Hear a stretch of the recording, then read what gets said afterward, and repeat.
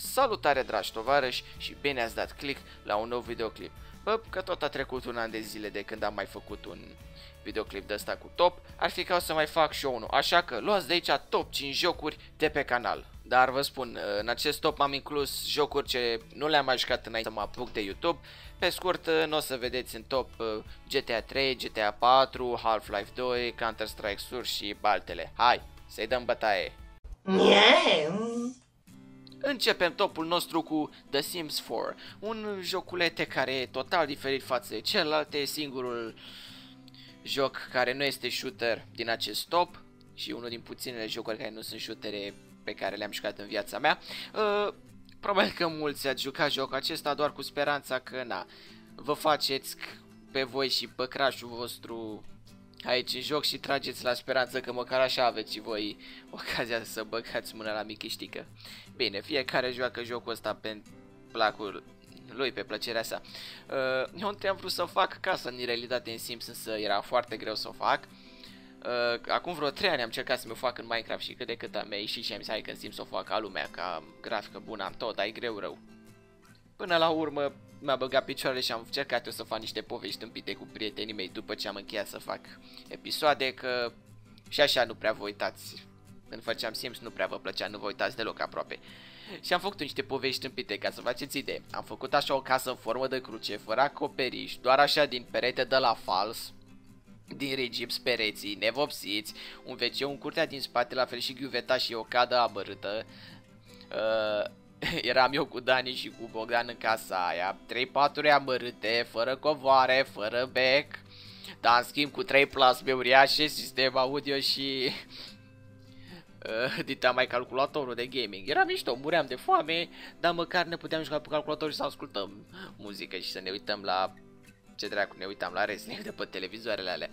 Da, dacă ai puțină imaginație și creativitate, poți să faci jocul foarte distractiv.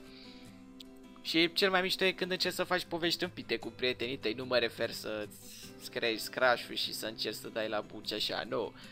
Faci tâmpite, gen dacă reușești să găsești mod din ăsta în care să poți adăuga homosexual să-i faci pe cei mai buni prieteni ai tăi să fie homosexual și să le arăți după aia, mamă, ce mișto e. Eu cu de cât am reușit să-i creez bine pe tovară și mei aici în joc.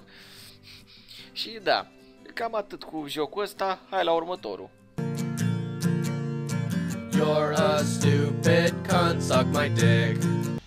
Următorul joc clasat în top este Call of Duty World at War, un Call of Duty adus la originele sale și anume la cel de-al doilea război mondial. Efectiv în acest joc sunt niște scene excepționale care îți aduc aminte, te bagă așa în, în acea atmosfera războiului și efectiv când moare un camarad chiar îți pare rău aproape, scene emoționante, foarte realistice, sunete de arme bune, războaie totale, mai ales când uh, te bați cu japonezii sau ce erau oia și le dădeai foc cu arzătorul, cu orcător de flăcări, prăje ca pe porc de Crăciun, nu știu, deci așa un gameplay foarte plăcut, nu este nici foarte greu, excepțional, deci cred că cel mai bun Call of Duty dintre toate de până acum.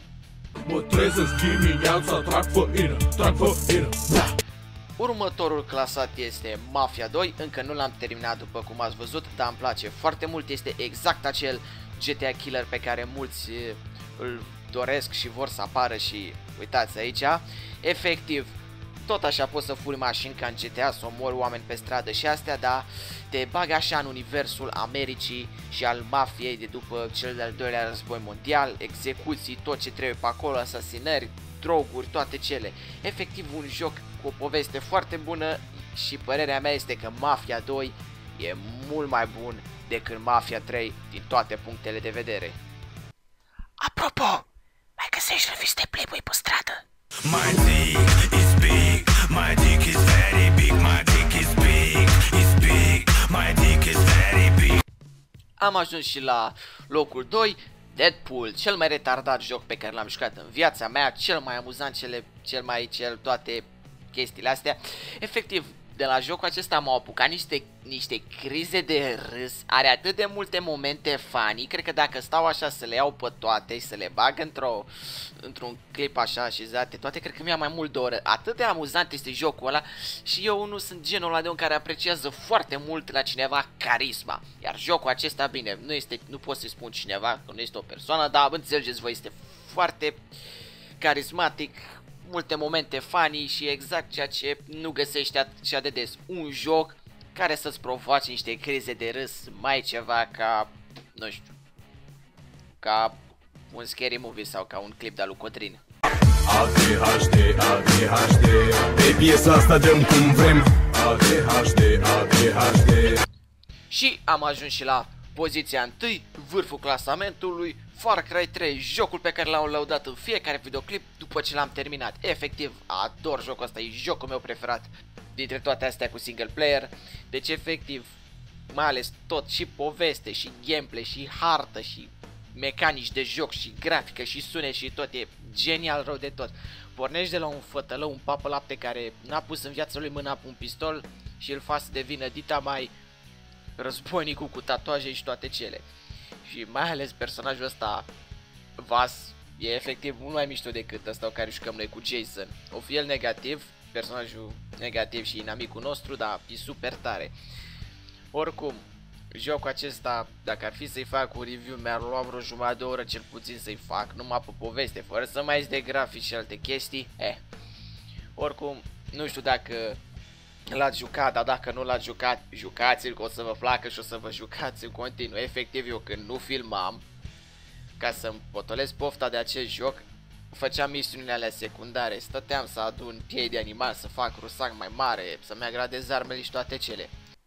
Apropo, la un moment dat, dai la buci în jocul ăsta. Și cam acesta a fost și topul nostru. Eu sper că v-a plăcut. Când o să mai termin serii și o să încep altele, o să fac din nou și partea a doua și partea a treia, nu o să mă opresc aici. Uh, da, cam atât. Eu vă urez o vacanță plăcută că de-abia a început, sper că ați luat note bune la examenele voi ăștia care ați dat, care este 8 sau 12 și cam atât. Vă urez o zi mai răcoroasă să nu muriți de cald și ne vedem și ne vom auzi data viitoare. Ciao les!